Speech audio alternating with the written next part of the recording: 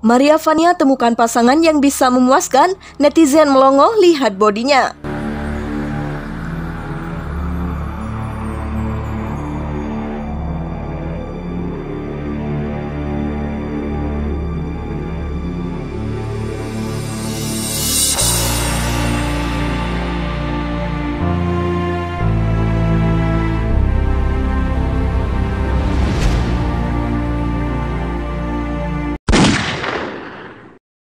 Dapur berita artis terkini.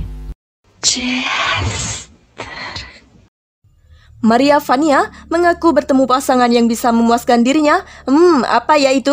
Diintip Okezone dari TikTok at Maria Vania mengenakan sport bra abu-abu dan legging super seksi.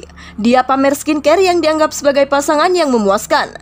Akhirnya setelah tunggu lama Vania bisa ketemu kamu juga, tulisnya dalam video Maria Vania. Maria Vania pun memakai sederet rangkaian skincare tersebut. Dia menyemprotkan salah satu botol spray ke wajahnya.